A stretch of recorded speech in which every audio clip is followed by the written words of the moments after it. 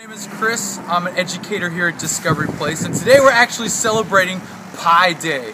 And so what we're doing is we set up a catapult, and we have whipped cream, or no more, it's shaving cream, inside of these pie pans. Here, I'll show you one real quick.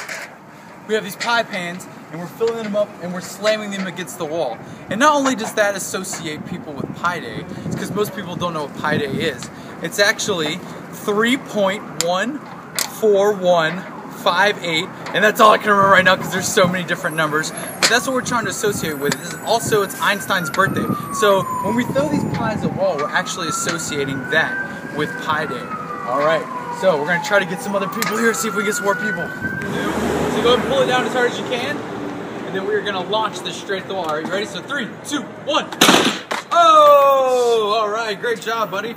Let's try. Who else wants to give it a try? I think the kids just stand up there while we shoot it. I I might. I, I, Ah. I still gotta clean up a little bit. You got enough Go for it. Oh, all right.